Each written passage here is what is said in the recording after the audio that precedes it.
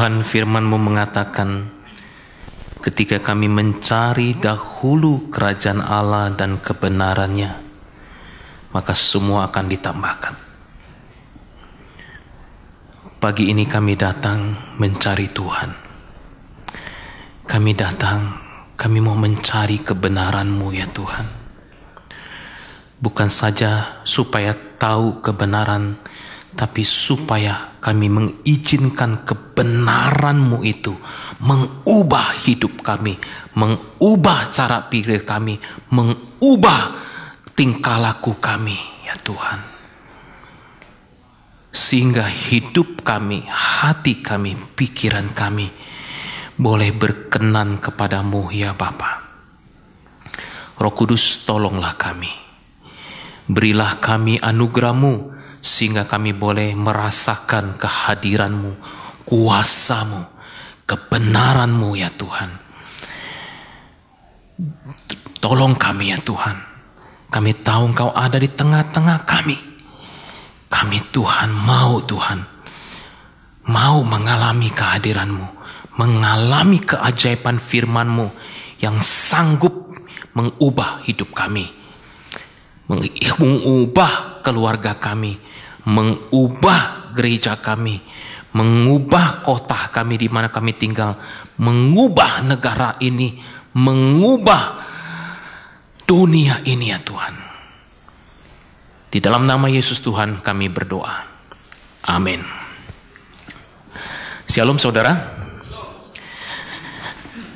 Waktu saya kecil, saya senang sekali nonton satu film tokoh film itu namanya MacGyver. gitu ya. Ya, Mission Impossible. Jadi di film itu, itu saya nyalain saya punya ini dulu ya. Di mana nyalainnya?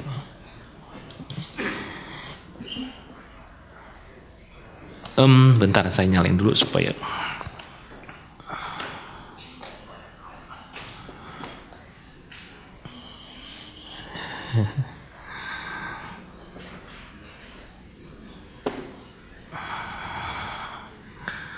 Minta tolong gimana nyalainnya. Oke. Okay. Oke, okay, thank you. Nah, Saudara, itu film MacGyver.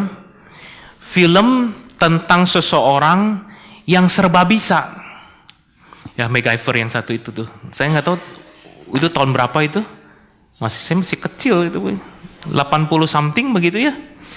Nah film itu mostly cerita tentang si MacGyver ada dalam situasi yang mustahil bisa solve. Eh ujung-ujungnya pada detik-detik terakhir bisa aja. Saya mikir-mikir mestinya filmnya bukan Mission Impossible ya, mesti Mission Possible. Karena selalu berhasil gitu. Demikian juga film yang lebih baru Tom Cruise. Nah, anak muda mah kenal nih Tom Cruise. Yang MacGyver kagak kenal ya. Tom Cruise. Mission Impossible juga ada serinya gitu. Demikian juga dibilangnya Mission Impossible, mission uh, misi yang tidak mungkin terjadi diselesaikan, tapi at the end solve juga tuh possible gitu. Nah, di dalam Alkitab ada juga banyak mission-mission impossible. Banyak sekali mission-mission, misi-misi yang tidak mungkin bagi dunia, tetapi mungkin kalau Tuhan mau gitu. Nah, kita akan baca satu bagian firman Tuhan dari Lukas 1 ayat 1 sampai 38. Pembahasan kita hari tentang mission impossible. Mari kita baca. Nah, ada yang nggak punya bawa Alkitab, silakan boleh ada Alkitab di belakang. Lukas 1 ayat 1 sampai 38.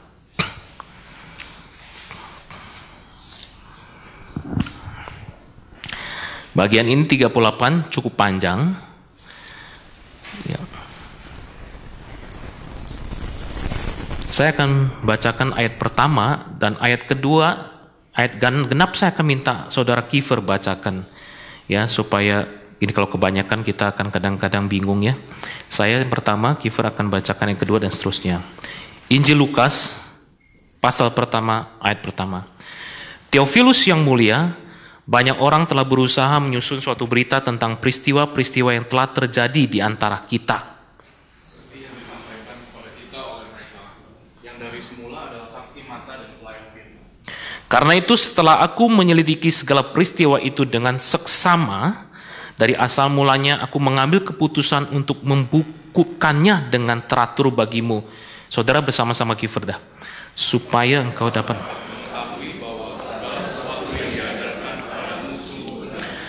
Pada zaman Herodes, Raja Yudea, adalah seorang imam yang bernama Sakaria dari rombongan Abia. Istrinya juga berasal dari keturunan Harun, namanya Elizabeth. Keduanya adalah benar di hadapan Allah dan hidup menurut segala perintah dan ketetapan Tuhan dengan tidak bercacat. Tetapi mereka tidak mempunyai anak, sebab Elizabeth mandul dan keduanya telah lanjut umurnya. Pada suatu kali, waktu tiba giliran rombongannya, Zakaria melakukan tugas keimaman di hadapan Tuhan. Sebab ketika diundi, sebagaimana lazimnya untuk menentukan imam yang bertugas, dialah yang ditunjuk untuk masuk ke dalam bait suci dan membakar ukupan di situ. Sementara itu, seluruh umat berkumpul di luar dan sembayang. Waktu itu adalah waktu pembakaran ukupan. Maka tampaklah kepada Sakaria seorang malaikat Tuhan berdiri di sebelah kanan mesbah pembakaran ukupan. Melihat hal itu, ia terkejut dan menjadi takut. Tetapi malaikat itu berkata kepadanya, "Jangan takut, hai Sakaria, sebab doamu telah dikabulkan dan Elizabeth istrimu akan melahirkan seorang anak laki-laki bagimu dan haruslah engkau menamai dia Yohanes." Engkau akan bersuka cita dan bergembira. Bahkan banyak orang akan bersuka cita atas kelahirannya itu. Sebab ia akan besar di hadapan Tuhan dan ia tidak akan minum anggur atau minuman keras dan ia akan penuh dengan roh kudus mulai dari rahim ibunya. Ia akan membuat banyak orang Israel berbalik kepada Tuhan, Allah mereka.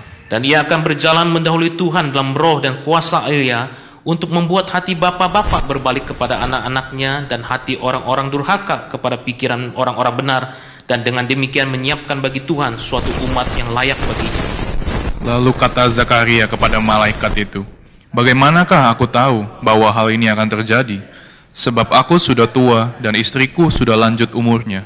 Jawab malaikat itu kepadanya, Akulah Gabriel yang melayani Allah dan aku telah diutus untuk berbicara dengan engkau dan untuk menyampaikan kabar baik ini kepadamu. Sesungguhnya engkau akan menjadi bisu dan tidak dapat berkata-kata sampai kepada hari di mana semuanya ini terjadi, karena engkau tidak percaya akan perkataanku yang akan nyata kebenarannya pada waktunya. Sementara itu orang banyak menanti-nantikan Sakaria. Mereka menjadi heran bahwa ia begitu lama berada dalam bait suci. Ketika ia keluar, ia tidak dapat berkata-kata kepada mereka dan mengertilah mereka bahwa ia telah melihat suatu penglihatan di dalam bait suci. Lalu ia memberi isyarat kepada mereka sebab ia tetap bisu. Oh, oh sorry. Saya sampai di mana? Dua tiga. Dua tiga saya. Ketika selesai jangka waktu tugas jabatannya, ia pulang ke rumah. Beberapa lama kemudian, Elizabeth, istrinya, mengandung dan selama lima bulan ia tidak menampakkan diri. Katanya, Inilah suatu perbuatan Tuhan bagiku dan sekarang ia berkenan menghapuskan aibku di depan orang. Nah itu saudara, cerita tentang Tuhan menampakkan diri kepada Sakaria. Ini the first mission impossible yang kita akan bahas hari ini. Nah the second one, kita akan baca nih sebentar. Ayat 26 silakan. Dalam bulan yang keenam, Allah menyuruh malaikat Gabriel pergi ke sebuah kota di Galilea bernama Nazaret. Kepada seorang perempuan yang bertunangan dengan seorang bernama Yusuf dari keluarga Daud. Nama perawan itu Maria. Ketika malaikat itu masuk ke rumah Maria, ia berkata, Salam, hai engkau yang dikaruniai, Tuhan menyertai engkau. Maria terkejut mendengar perkataan itu lalu bertanya dalam hatinya, apakah arti salam itu? Kata malaikat itu kepadanya, Jangan takut, hai Maria, sebab engkau beroleh kasih karunia di hadapan Allah. Sesungguhnya engkau akan mengandung dan akan melahirkan seorang anak laki-laki dan hendaklah engkau menamai dia Yesus. Ia akan menjadi besar dan akan disebut anak Allah yang maha tinggi. Dan Tuhan Allah akan mengaruniakan kepadanya tahta Daud, bapa leluhurnya. Dan ia akan menjadi raja atas kaum keturunan Yakub sampai selama-lamanya dan kerajaannya tidak akan berkesudahan. Kata Maria kepada malaikat itu, Bagaimana hal itu mungkin terjadi karena aku belum bersuami? Jawab malaikat itu kepadanya, Roh Kudus akan turun atasmu dan kuasa Allah yang Maha Tinggi akan menaungi engkau. Sebab itu anak yang akan kau lahirkan itu akan disebut kudus, anak Allah. Dan sesungguhnya Elizabeth, sanakmu itu, ia pun sedang mengandung seorang anak laki-laki pada hari tuanya, dan inilah bulan yang keenam bagi dia, yang disebut mandul itu. Sebab bagi Allah tidak ada yang mustahil. Kata Maria, Sesungguhnya aku ini adalah hamba Tuhan, jadilah padaku menurut perkataanmu itu. Lalu malaikat itu meninggalkan dia. Ayat 37 sama-sama. Ya kita bacakan satu kali lagi. 3, 2, 1. Sebab bagi Allah tidak ada yang mustahil. Nah saudara, bagian kita baca ini, pasal pertama dari kitab Lukas. Lukas itu siapa? Lukas itu murid Tuhan Yesus yang punya latar belakang profesinya apa saudara? Dokter, tabib. Jadi dia ini sebagai seorang tabib saya percaya di sini ada dokter ya, ada mantan dokter. Saya percaya sekali dokter-dokter di dunia sampai sekarang pun mestinya orangnya teliti. Setuju nggak? Bayangin kalau dokter nggak teliti, apalagi kalau mau ngebelek ya, operasi, wah nggak teliti, terus ngasih obat salah, wah bayangin apa yang terjadi. Nah dia tulis tuh di ayat pertama sampai keempat, ya dia tulis bahwa buku ini ditulis kepada Theophilus, ya terus dibilang berdasarkan apa yang sudah saya cari, saya buat dengan seksama, dengan sangat teliti, berdasarkan kronologisnya, ya saya saya selidiki asal usulnya, inilah yang terjadi. Inilah yang terjadi. Dia paparkan. Dia paparkan. Nah saudara, dua cerita ini pentampakan uh, malaikat Gabriel kepada Sakaria itu paralel dengan penampakan maksudnya kalau di perbandingan cerita itu kelihatannya perbandingannya itu paralel sekali. Ya, dengan penampakan Gabriel kepada Maria. Dan dua-duanya intinya sebenarnya intinya misi yang diemban oleh Gabriel diberitakan kepada Sakaria itu sebenarnya misi yang impossible. Demikian juga misi apa berita yang diberitakan malaikat Gabriel kepada Maria juga mission impossible bagi dunia, bagi manusia. Nah, kita lihat yang pertama. Kita lihat misi dari si Sakaria. Saudara perhatikan ayat kelima sampai ayat ketujuh Lukas itu memberikan background. Ya, jadi sebelum dia cerita adegannya, saya saya ngebayangin kalau si Lukas ini pinter juga kayak membuat drama gitu ya. Kayak sebagai sutradara tuh dia keluarin backgroundnya dulu 5 sampai 7. Nah, dia cerita. Backgroundnya adalah pada zaman Herodes, kasih background tuh. Pada zaman Herodes, Raja Yudea Ada seorang imam bernama Sakaria. Dia ini keturunan, dia imam keturunan istrinya keturunan Harun. Dia ini benar, nah perhatiin, ini penting ke, informasi ini. Sakaria ini benar di hadapan Allah dan hidup menurut segala perintah dan ketetapan Tuhan dengan tidak bercacat. Jadi ada satu orang yang hidupnya benar, baik, nggak bercacat. Ya, tapi mereka tidak punya anak. Sebab Elizabeth mandul dan keduanya telah lanjut umur.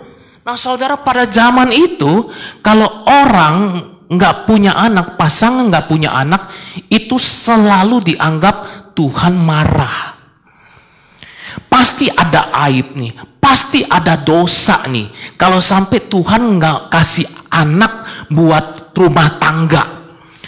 Bahkan pemikiran ini pun masuk ke dalam budaya timur bukan? Ya, dalam budaya timur berapa berapa sering akhirnya sampai mungkin sampai angkatan papa saya pun masih ada pemikiran kayak gitu. Anak-anak muda udah nggak kayak gitu karena zaman sudah canggih. Dan pada waktu itu kalau ada kemandulan, nggak pasangan nggak punya nggak bisa punya anak, selalu yang ditunjuk salah itu si wanita. Selalu itu salah pokoknya salah wanita mandul. Padahal sekarang dalam teknologi medis udah yang canggih kita tahu oh enggak selalu bisa gara-gara si prianya gitu.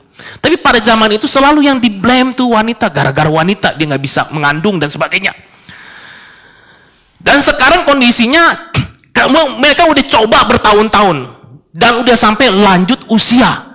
Jadi nggak tahu berapa air mata yang sudah dikeluarkan Sakaria dan Elizabeth meminta anak, minta, minta. Sudah berkali-kali, ratusan kali, ribuan kali, nggak tahu. Ya, itu backgroundnya. Nah, background yang kedua, itu saudara perhatikan, dari 39, eh maksud, maksud saya bukan, dari ayat 26, sampai ke 27. Nah, itu juga background. Makanya saya bilang itu paralel sekali. 25 26 sampai 27 dikasih background lagi. Ini lu tadi tuh Herodes, zaman Herodes ada imam. Ini di kota salah satu kota di Galilea, kota Nazaret, orang langsung asosiasi oh ke Nazaret. Oh itu mah kota kecil, bukan Jakarta, bukan Surabaya. Ini mah Lumajang, nah, kira-kira gitu. Kota kecil, nggak nggak terkenal kira-kira gitu ya. Maaf, ada yang Lumajang? Oh enggak. Ya, ini kota kecil. Jadi kota kecil tuh pemikirannya bahwa oh ini gadis desa gitu loh. Jadi ini gadis desa, gadis desa yang ya yang sederhana. Namanya Maria. Maria ini udah mau ini udah bertenangan dengan Yusuf gitu. Udah bertunangan dengan Yusuf. Maksudnya apa? Nah, pada zaman itu biasa sekali bahwa menikah itu usia memang masih sangat muda kalau dibandingin zaman sekarang. Zaman sekarang di Kanada di survei ya eh, orang-orang uh, muda menikah kira-kira umur berapa? Saudara tahu? Dari survei di Kanada ini ditemukan bahwa wanita sekarang ini menikah kira-kira umur 28. Jadi makin naik lagi. Terus 10 tahun lagi mungkin 35 kali. Iya, makin naik. Kalau dulu saya tanya sama nenek saya, nenek saya dari pihak mama. Popo, nenek, dulu menikah umur berapa? 12 nenek saya. Tapi anaknya sampai 12 juga. iya. Iya, umurnya muda sekali. Nah, saudara, jadi bayangkan ini budaya 2000-an tahun lalu, Maria itu benar-benar masih muda. Ya, kalau sekarang kan gambar-gambar Maria itu kayaknya, wah ini mah umur 20-an. Tapi kalau diselidiki dari history budaya, udah hampir pasti itu mungkin kira-kira yang 15 tahun. Ya nenek saya menikahnya 12 tahun. Ya kira-kira begitu umurnya. Masih sangat polos. Ya ya seperti zaman Siti Nurbaya, pokoknya udah menikah. Dia ngebayangin, walaupun dia masih polos sekali, dia udah pernah lihat orang menikah. Dia ngebayangin kalau dia pakai baju pengantin, ya jalan di pelataran, teng teng teng teng. Ngebayang nggak? Soalnya yang muda-muda mikir kan kalau menikah mau kayak apa gitu kan? Ya, Nah demikian juga pasti Maria tuh berpikir, nah ini orang gadis desa sekalipun gadis desa yang sederhana pasti punya pemikiran. Ntar pakai gaunnya warna apa, dandannya di bridal mana, kira-kira kayak gitu. Itu si Maria background. Dan kemudian mulailah cerita dimulai. Ya, mulai cerita dikatakan. Nah, buat Sakaria, Sakaria apa yang terjadi? Tuhan satu waktu ketika si Sakaria sedang bertugas di bait suci, sedang mau membakar ukupan, ukupan tuh kayak mau kemenyan. Ya kalau ke gereja Katolik ya, dalam misa selalu ada yang di yang yang asap kayak itu. Jadi itu sebenarnya tradisi Yahudi yang terus dipelihara gitu. Membakar ukupan, kemenyan gitu. Itu lambang pengudusan sebenarnya. Nah waktu si Imam Sakrem menyalakan membakar ukupan, tiba-tiba dia lihat di samping mesbah itu ada seorang malaikat. Dia kaget sekali. Nah cerita dimulai, dia kaget sekali.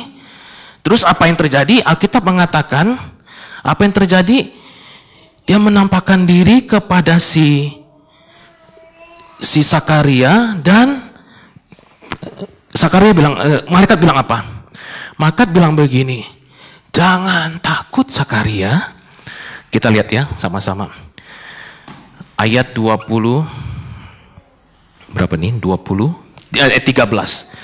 Jangan takut hai Sakaria, sebab doamu telah dikabulkan dan Elizabeth istrimu akan melahirkan seorang anak laki-laki bagimu dan haruslah engkau menamai dia Yohanes. Nah perhatiin ya. Nah saudara saya berharap saudara nggak bingung karena saya akan bolak-balik. Sakaria Maria, Sakaria Maria, Sakaria Maria gitu. Nah malaikat Gabriel ngomong sama Sakaria, jangan takut Sakaria karena Tuhan sudah mendengar doamu. Doa yang mana? Doa yang bertahun-tahun dari sejak muda, dari sejak hari pernikahan. Menikah pengen punya anak, doa udah nggak tahu berapa air mata, berapa penderitaan mereka. Mereka berdoa supaya Tuhan kasih mereka anak, nggak kasih-kasih. Nah, Tuhan bilang, Tuhan sudah mendengar doamu. Dan Elizabeth, istrimu, akan mengandung bagimu. Kenapa perlu dikatakan Elizabeth istrimu? Supaya nggak salah orang. Kalau nggak, Abraham ya, istri apa? Engkau, uh, Tuhan sudah mendengar doamu dan Elizabeth kaunang gitu. Bunga tuh bukan Elizabeth kaunang. Elizabeth tetanggamu yang cantik itu bukan. Elizabeth istrimu. Kenapa perlu penekanan kayak gini? Karena dulu sekali, ratusan tahun yang lalu, pernah juga terjadi satu penafsiran oleh seorang nabi juga. Tuhan bilang kau akan mempunyai anak. Anakmu akan begitu banyak seperti pasir di laut. Tuhan kasih janji. Terus dia tafsirin, jangan-jangan bukan dari istriku si Sarah. Ya kan? Ya dah. Dia mikir jangan-jangan bukan. Betul betul nggak? Jadi kejadian sama tuh. Jadi sampai Tuhan ngomong, malaikat bilang, dari Elizabeth istrimu akan melahirkan bagimu seorang anak laki-laki. Dan engkau akan menambil dia, Yohanes. Nah, sekarang kita loncat lagi ke Maria. Yang terjadi apa? Malaikat nampakkan diri. Pertama-tama yang terjadi, malaikat ngomong apa? Malaikat ngomong sama Maria, Maria kaget. Nih tiba-tiba ada seseorang apa malaikat masuk rumahnya Salam Maria, hai Maria, engkau yang dikaruniai Tuhan, Tuhan menyertai engkau. Dia bingung. Hai engkau yang dikaruniai Tuhan. Karunia apa? Nah saudara, kita berkata ketika dia nggak mengerti apa yang dilakukan. Apa yang dilakukan? Lihat, ayat 29. Maria terkejut mendengar perkataan itu, lalu bertanya dalam hatinya, apakah arti salam itu? Kita mulai lihat respon atas hal-hal yang mengejutkan. Respon atas hal-hal kemudian kita akan lihat bukan cuma mengejutkan tapi yang mustahil. Maria mulai dengan respon. Ketika dia tidak mengerti dia bertanya. Dia bertanya, maksudnya apa? Bukankah sedemikian juga harusnya hidup kita ketika kita nggak mengerti kenapa sesuatu? Kenapa kenyataan ini terjadi? Kenapa ada hal ini terjadi? Respon kita seperti apa? Maria bertanya dalam hatinya, apa maksudnya ya? Apa maksudnya? Terus habis itu malaikat Gabriel melanjutkan lagi, ya masih ada kursi. Malaikat melanjutkan lagi, Oh, kamu ini Tuhan sudah mendengar doamu, ya, kau akan melahirkan uh, istrimu bukan engkau ya. Istrimu akan melahirkan bla bla bla dan orang ini, anakmu ini akan dikenal sebagai imam yang maha tinggi. Dan anakmu ini akan menjadi pembuka pioner bagi kelahiran Mesias. Ditulis, kasih tahu. Oke. Okay? Terus sama nih, lihat gak paralel. Lukas itu pinter ya, seorang dokter soalnya. Dia Maria juga gini, anakmu ini, kan tadi sebut siapa? Dinamai Yesus. Dia ini akan menyelamatkan, menjadi juru selamat. Dia ini akan menjadi anak Allah. Dia ini anak Allah, katanya. Terus perbandingan. Nah, sekarang berita sudah beritakan. Ya, perintah Allah bagi Abraham sudah disampaikan. Ini akan lahir anak dari Sakaria dan Elizabeth yang sudah lanjut usianya dan sudah mandul. Nah ini perhatikan, bukan sudah, dan mandul. Mandul dan sudah lanjut usianya. Artinya apa? Kalau orang udah, kalau mandul, mungkin dia berpikir satu hari bisa tiba-tiba siapa tahu ada mujizat. Ya kan? Tapi kalau orang udah tua, nggak mandul pun nggak mungkin. Kenapa? Kalau tiap bulan, kalau udah sampai ke pubertas, kan wanita itu akan menstruasi. Menstruasi itu artinya kan apa? Sel telur yang tidak terbuahi kemudian keluar kan. Dan setiap wanita itu di dua indung telurnya itu udah ada Pak dokter berapa banyak Pak?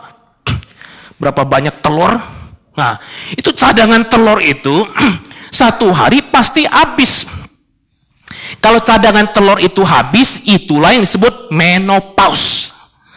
Menopause terjadi kalau pada zaman ini kira-kira umur 40-an something, 48, 50 tahun tergantung kesehatan seseorang. Nah, kalau dulu anggap saja menopause-nya terjadi lebih belakangan. Anggap saja kalau sekarang 40, anggap saja 60 tahun. Nah, di Alkitab katakan dia udah tua, enggak cuma 60 lagi. Jadi udah enggak mungkin sel telurnya udah entek habis gitu loh. Sementara di sini, ya di sini ini Maria, ya saya nggak tahu juga. Ini Maria sudah mulai menstruasi belum? Satu. Tapi yang pasti ada cadangan telurnya. Oke. Nah tapi masalahnya ini bilang saya belum bersuami. Bagaimana saya bisa punya suami? Saya bisa punya anak? Saya belum bersuami. Tapi kan Alkitab berkata bahwa dia sudah tunangan. Iya. Pada zaman itu, orang yang sudah bertunangan itu sudah dianggap suami istri. Gitu. Ya, sudah dibuk gitu ya. Walaupun satu tahun ke depan sudah dibuk, nggak boleh macem-macem. Kalau sampai macem-macem itu sama dengan berzina, walaupun belum tinggal sama-sama, belum bersetubuh begitu. Jadi pada waktu itu si Maria bilang, ya saya ini belum punya suami, bagaimana punya anak?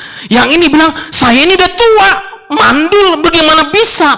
Nah saudara, menurut saudara, yang lebih susah terjadi yang mana? Yang udah tua apa yang belum? Ya udah tua. yang mana lebih mustahil terjadi? Ya, dua-duanya. Yang mana mustahil? Dua-duanya secara manusia mustahil kan? Oh tapi sekarang ini yang anak muda bilang, yang kedua mah nggak mustahil kok. Banyak yang bersuami punya anak. Ah, lain cerita itu. Itu kumpul kebo dan segala macem. Enggak, enggak zaman itu enggak begitu. Gitu. Oke. Okay. Nah, dua-duanya menghadapi situasi yang mustahil. Makanya saya bilang mission is possible. Tapi responnya berbeda. Responnya berbeda ketika malaikat sudah menyampaikan tentang berita ada anakmu akan lahir dia itu Yohanes dia akan menjadi nabi imam yang tinggi akan mempersiapkan jalan bagi Yesus Kristus responnya apa responnya apa kita lihat responnya ini dia bilang apa dia bilang kita lihat dia ayat yang ke 18 bagaimana aku tahu bahwa hal ini akan terjadi. Sebab aku sudah tua dan istriku sudah lanjut umurnya. Perhatikan, ini penting sekali. Zakaria bilang, bagaimana aku tahu bahwa hal ini akan terjadi? Sebab aku sudah tua dan istriku sudah lanjut umurnya. Jadi, waktu si Zakaria tahu ini mustahil, dia nanya. Dia nanya sama Gabriel, bagaimana saya tahu bahwa ini akan terjadi? Dia paparkan fakta, saya sudah lanjut umurnya. Dan istriku sudah lanjut umurnya. Saya sudah lanjut umurnya, tapi istriku masih umur 20. Wah, masih bisa. Ya kan? Dia bilang, aku sudah tua, istriku juga sudah tua. Bagaimana mungkin? Maria nanya juga kan? Ketika bilang, wah kamu akan mengandung. Terus dia tanya, bagaimana mungkin ini terjadi? Sebab Aku belum bersuami. Dua-duanya nanya, saudara.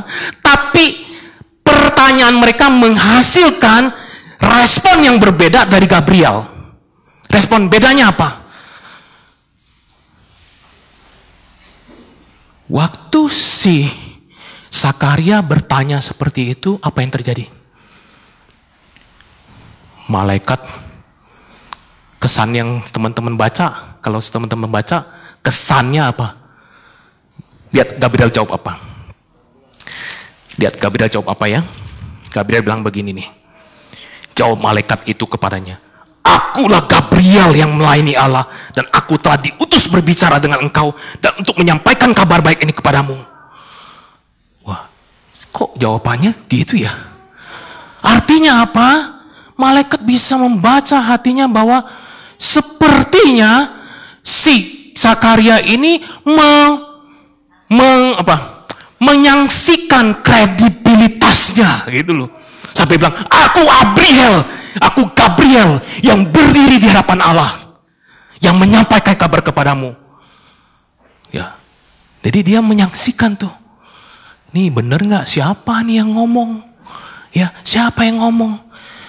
Ya, padahal malaikat kasih tahu Tuhan sudah mendengar doamu, istrimu, Elizabeth.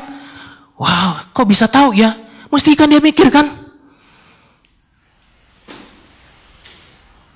Apa salah? Pertanyaan, bagaimana aku tahu hal ini terjadi? Salahnya di mana? Bukankah Maria juga nanya? Waktu Maria nanya, dijawab Gabriel apa? Gabriel langsung jawab, oh sesungguhnya engkau akan mengandung, ya roh Allah akan turun ke atas kamu dan ya engkau akan dinaungi gitu. Loh, ini diskriminasi nih. Ini mentang-mentang wanita kali ya masih muda, ini udah tua bangka kayak gitu. Jadi malaikat tuh gak diskriminasi. Yang yang satu wow, ngomong lembut-lembut karena wanita, yang satu ngomongnya kasar. No, no. Malaikat nggak diskriminasi. Dari mana kita tahu bahwa ucapan Zakaria itu nggak pas? Dari perkataan Gabriel selanjutnya. Gabriel bilang apa? Gabriel bilang apa selanjutnya? Gabriel bilang begini. Sesungguhnya engkau akan menjadi bisu dan tidak dapat berkata-kata sampai kepada hari di mana semuanya itu terjadi. Karena engkau tidak percaya akan perkataanku yang akan nyata kebenarannya pada waktunya. Itu masalahnya. Karena apa? Karena Sakaria nggak percaya. Karena bagi Sakaria mustahil. Karena bagi Sakaria sudah terlambat. Kau akan mengandung. Tuhan sudah mendengar doamu. Barangkali Sakaria dalam hatinya ber, bernyanyi. Terlambat sudah kau datang padaku. Setelahku masuk usia lanjutku. Sudah terlambat, udah tua gitu. Mungkin kira-kira kayak gitu tuh. Ya benar dulu aku berdoa, dulu aku ber, berminta sama Tuhan dengan sangat. Aku minta dengan sangat sampai ber, ber, ber, uh, mencucurkan air mata sampai berguling-gulingan berpuasa mungkin berhari-hari berbulan-bulan tapi Tuhan nggak menjawab. Sekarang sudah tua buat apa? Mungkin kira-kira gitu. Buat apa? Saudara saya ngerenungin ini loh saya merenungkan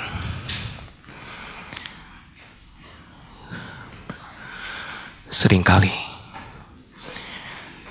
ketika doa kita nggak jawab.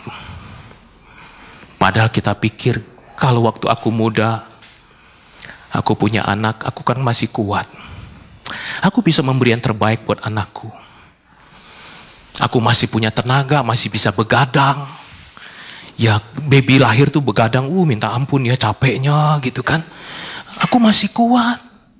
Tapi ini udah tua bagaimana?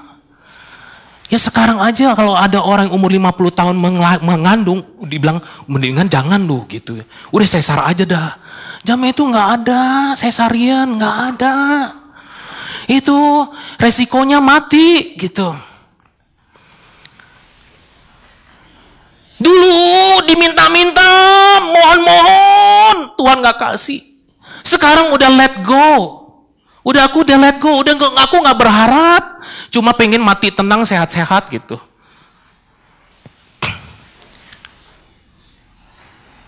Seringkali harapan doa kita belum terjadi. Dan kita nggak bisa ngerti maksud Tuhan itu apa. Kita nggak ngerti. Yang ada kita marah, kita kecewa. Tuhan terlalu lama. Terlalu lama.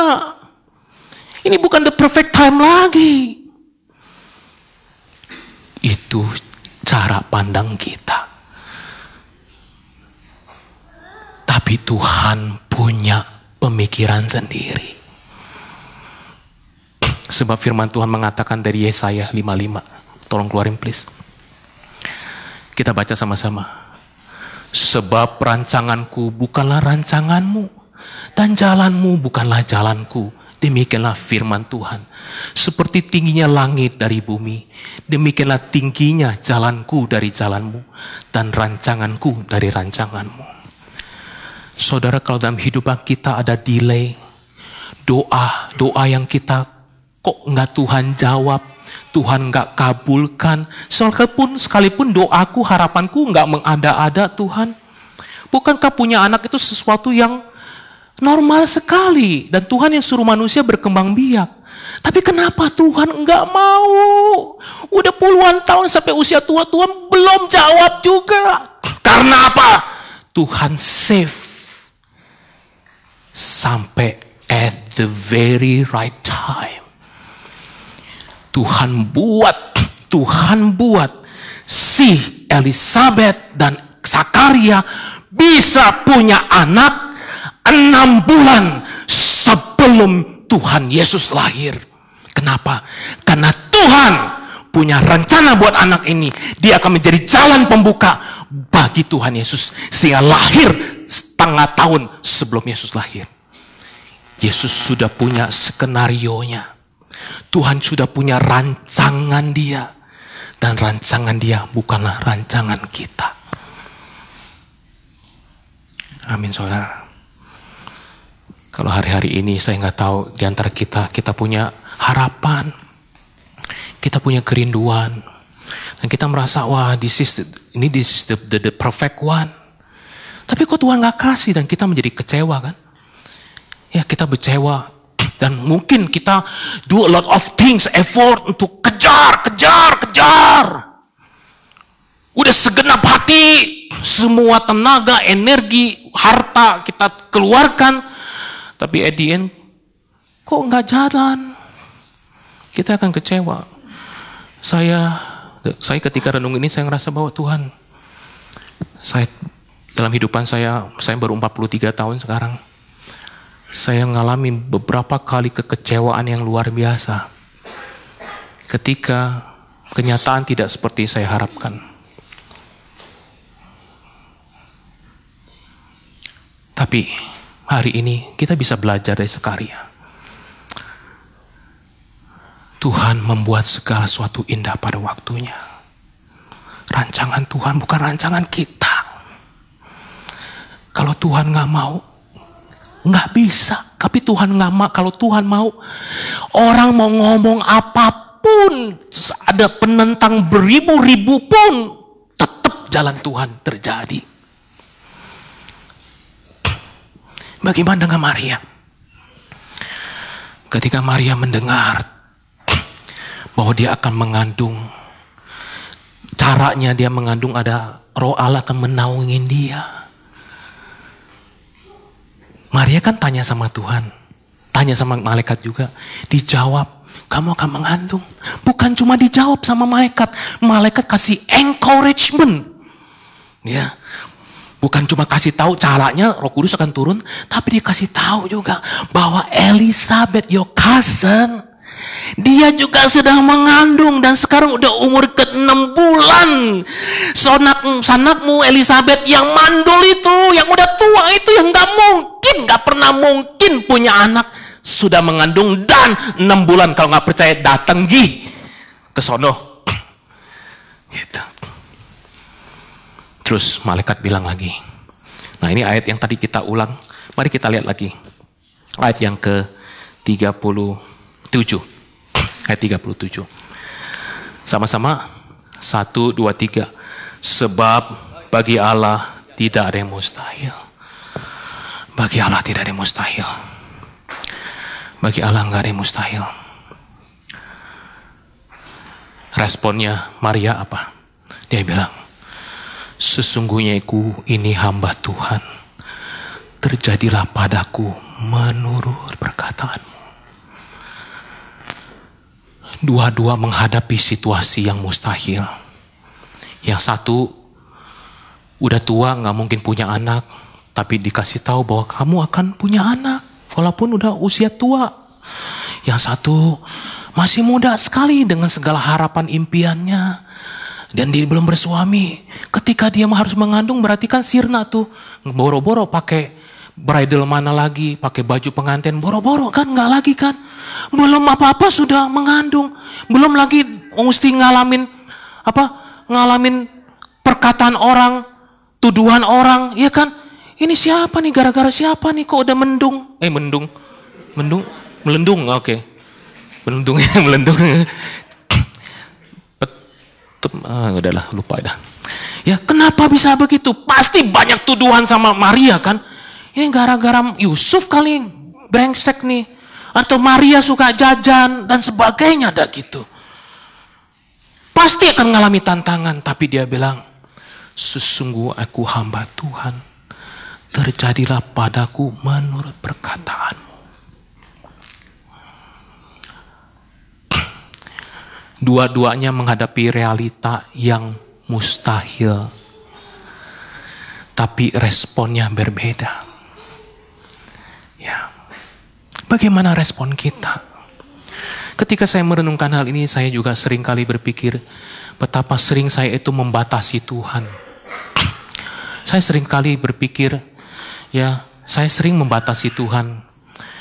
Kalau saya punya rencana ini yang saya pikir bagus, kalau nggak terjadi pasti ya, hasilnya B. Sampai satu kali dalam pergumulan saya, perjalanan hidupan saya, waktu saya masih di seminari saya pernah berkonsultasi sama salah satu dosen saya. Saya bilang, ibu, rasanya nggak mungkin deh, bla bla bla begitu. Saya cerita tentang satu masalah. Terus dia jawab saya, Chris, Tuhan itu kreatif, Chris. Dia bilang. Tuhan punya seribu satu macam cara. Seringkali kita berpikir kalau enggak A, B, atau C, atau D. Tapi Tuhan bisa bukain jalan A sampai Z. Kadang-kadang bukan A sampai Z, bisa A aksen sampai Z aksen. Tuhan bisa pakai segala cara, Chris. Waktu itu saya, walaupun ngomong gitu, saya belum bisa ngerti. Sampai ketika ada masalah, masalah, masalah memaksa saya untuk belajar. Tuhan buat si Sakaria bisu. Bisunya berapa bulan? Sembilan bulan sepanjang istrinya mengandung. Kenapa dibuat bisu? Karena Tuhan disiplin dia. Siapa Sakaria? Siapa Sakaria? Apakah dia orang yang gak beriman?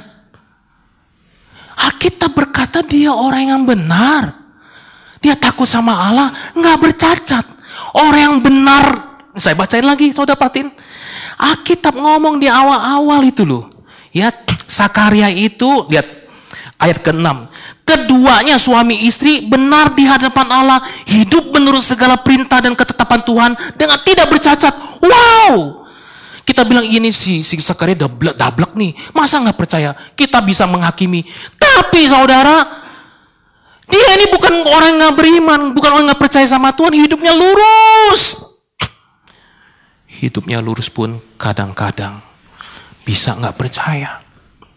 Makanya Tuhan disiplin. Apakah Tuhan jahat disiplin? Udah susahnya ya dari orang yang pinter ngomong, ya, terus nggak bisa ngomong, Ketika bayangin ketika dia pulang dari bait Allah dia mau ketemu istrinya, satu sisi dia seneng, takut, tapi juga menderita. Kenapa? Tiba-tiba nggak bisa ngomong. Itu disiplin dari Tuhan. Dan kalau Tuhan disiplin kita, itu Tuhan sayang sama kita. Tuhan proses kita, proses dengan kesulitan, penderitaan. Kenapa akhirnya kita bisa berkata, yes, you are real Lord. Gitu. Sehingga akhirnya sampai Sakaria bisa berkata seperti Maria, sesungguhnya aku ini hamba Tuhan, your will be done. Gitu.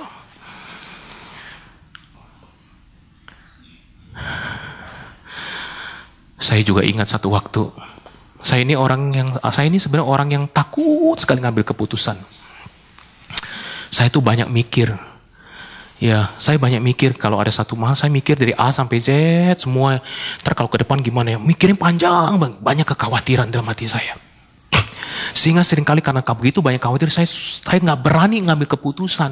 Kalau saya ngambil keputusan itu salah, bagaimana? Dan itu menderita sekali saya. Kadang-kadang bahkan pak hampir sampai hal yang kecil kadang-kadang. Misalnya ada pergi, mau pergi ini, kita pergi ada acara ulang tahun temen. Saya bingung, gue pakai baju ini atau pakai baju itu. Ya hal yang kecil bisa kayak begitu tuh, apalagi yang besar. Pilih sekolah ini, sekolah itu, jurusan ini, jurusan itu. Oh, susah sekali, menderita tiap kali karena takut salah.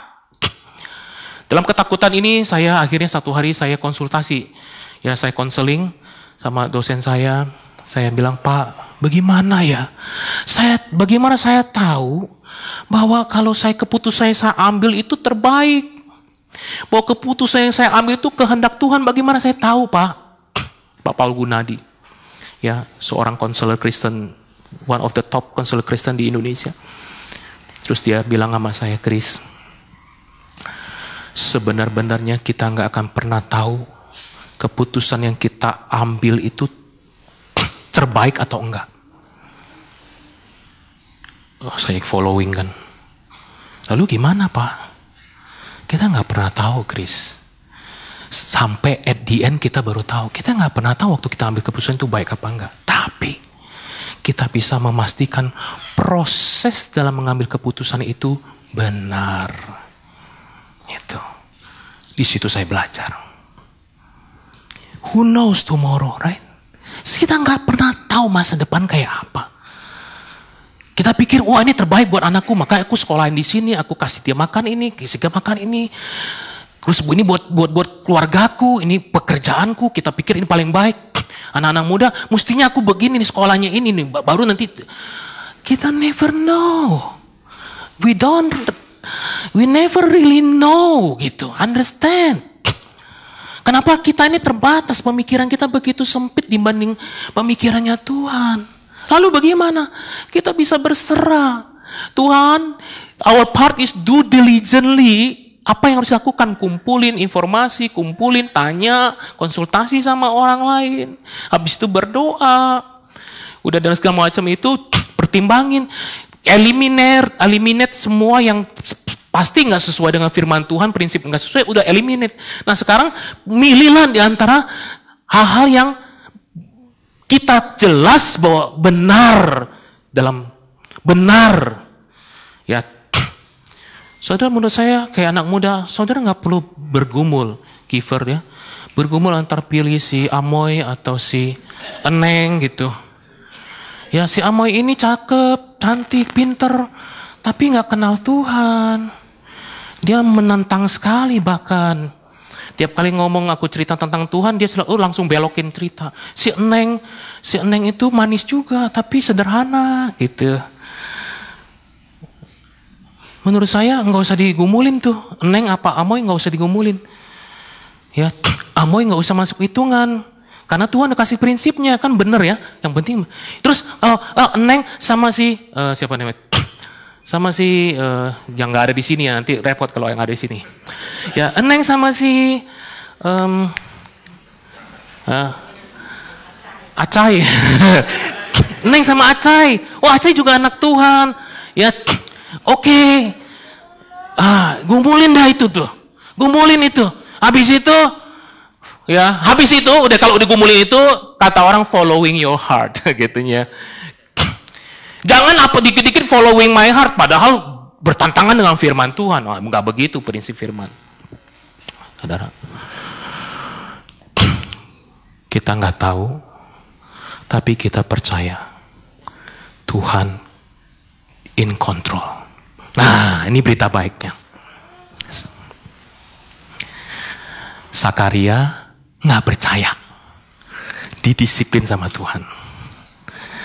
Maria percaya. Oke, okay. tapi ada orang yang nggak percaya, ada orang yang percaya. At the end, rencana Tuhan nggak gagal. Rencana Tuhan terjadi di dalam diri si Maria yang percaya, yang berkata, aku ini hamba Tuhan, terjadilah padaku Sehingga melalui hidup dia, Mesias dilahirkan. San anak Allah yang dinantikan ribuan tahun lahir men, melalui dia punya kandungan. Rencana Tuhan terjadi. Rancangan Tuhan juga nggak pernah gagal oleh ketidakpercayaan Zakaria. Dia pun nggak percaya Tuhan kasih dia disiplin, tapi rencana Tuhan tetap terjadi. Istrinya mengandung dan melahirkan Yohanes yang menjadi jalan pembuka bagi Mesias sang anak Allah. Rancangan Tuhan selalu terjadi. Kita percaya atau nggak percaya, kita gagal atau berhasil. Rancangan Tuhan selalu terjadi. Wow. Amin. Mari kita berdoa.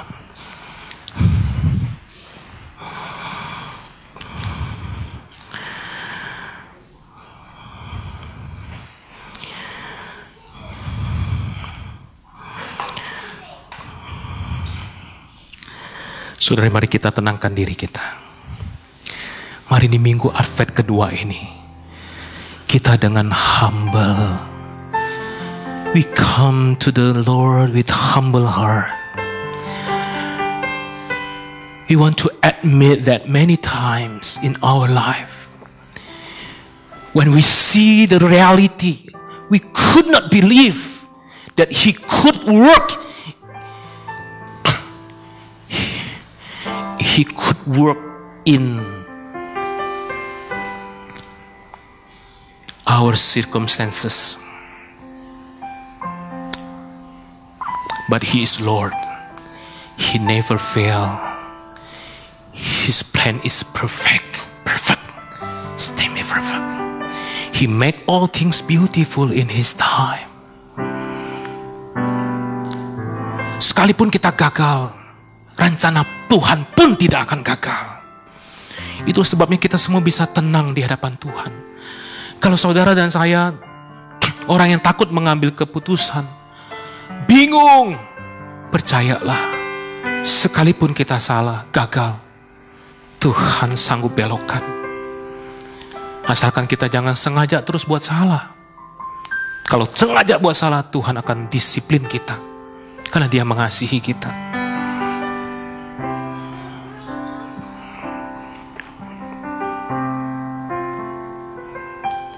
Jalan Tuhan bukan jalanku.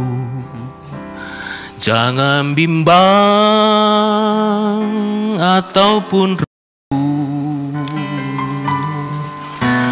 Nantikan Tuhan jadikan semua indah pada waktu dari awal ada waktu. Ada waktu di hidupku. Pencobaan berat menekan. Aku berseru mengapa ya Tuhan? Aku berseru mengapa ya Tuhan Nyatakan kehendakmu. Sekali katakan jalan Tuhan Jalan Tuhan Bukan jalanku. Jangan bimbang ataupun ragu. Nantikan Tuhan jadikan semua indah pada waktunya pada Tuhan. Pada Tuhan masa depanku. Pada Tuhan ku serahkan hidupku. Nantikan Tuhan berkarya indah pada waktunya. Hari esok. Hari esok tiada ku tahu. Namun tetap langkahku maju. Percaya. Percaya Tuhan jadikan semua indah pada waktunya. Pada Tuhan masa depanku. Pada Tuhan ku serahkan hidupku. Nantikan Tuhan berkarya Indah pada waktunya. Nantikan Tuhan berkarya. Indah pada waktunya. Mari saudaraku Kita mau berespon Sama firman Tuhan. Seperti Sakaria berespon atas firman Tuhan yang disampaikan Gabriel, seperti Maria berespon atas firman Tuhan yang disampaikan oleh Gabriel, berespon terhadap hal-hal yang mustahil, hal-hal yang sepertinya di luar rencana kehendak kita, hal-hal yang kita nggak pernah tahu akan masa depan. Adakah kita mau belajar seperti Maria? Berkata Tuhan, jadilah kehendakmu, bukan kehendakku. Tolong aku percaya ya Tuhan, sekalipun aku nggak melihat. Tolong aku berserah sekalipun kelihatannya mustahil bagi manusia. Sebab bagi Allah tidak ada yang mustahil.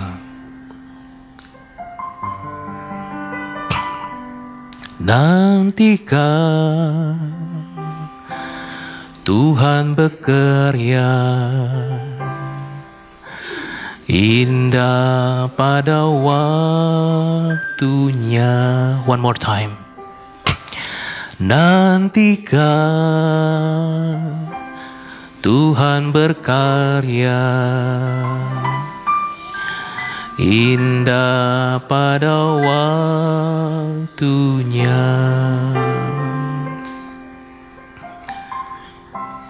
Tuhan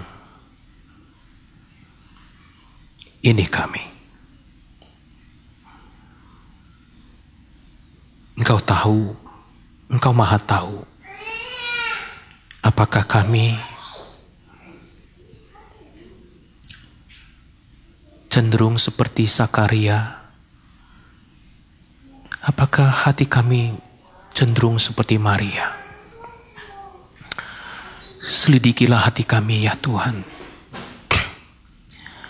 dan tuntunlah hati kami. Tuntunlah pikiran kami.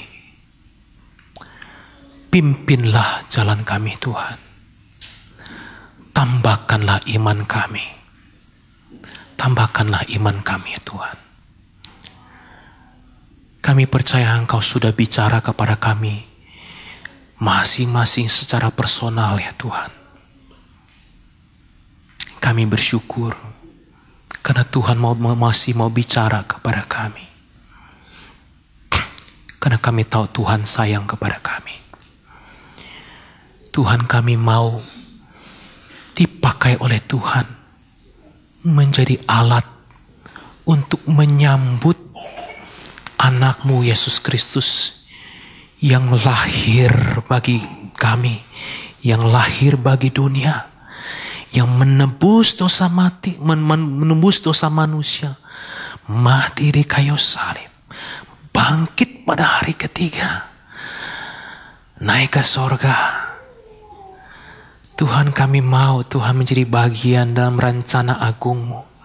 Bukan saja supaya kami pribadi bisa percaya kepada Yesus Kristus. Tapi supaya kami pun boleh membagikan kabar baik ini kepada orang-orang sekeliling kami. Tolong kami. Kalau hari ini di antara kami ada yang lemah, ada yang down Tuhan, ada lagi yang putus harapan. Hari ini di dalam nama Yesus, bangkitkan roh kami Tuhan. Bangkitkanlah roh kami Tuhan untuk memandang kepada Tuhan. Kalau di masa lalu kami, kami ada kegagalan. Hari ini, tolong kami percaya Tuhan pakai kegagalan. Rencana Tuhan tidak pernah gagal oleh karena kegagalan kami. Rencana Tuhan selalu ya dan amin ya Tuhan. Terima kasih Bapak. Dalam nama Yesus Tuhan kami berdoa. Amin.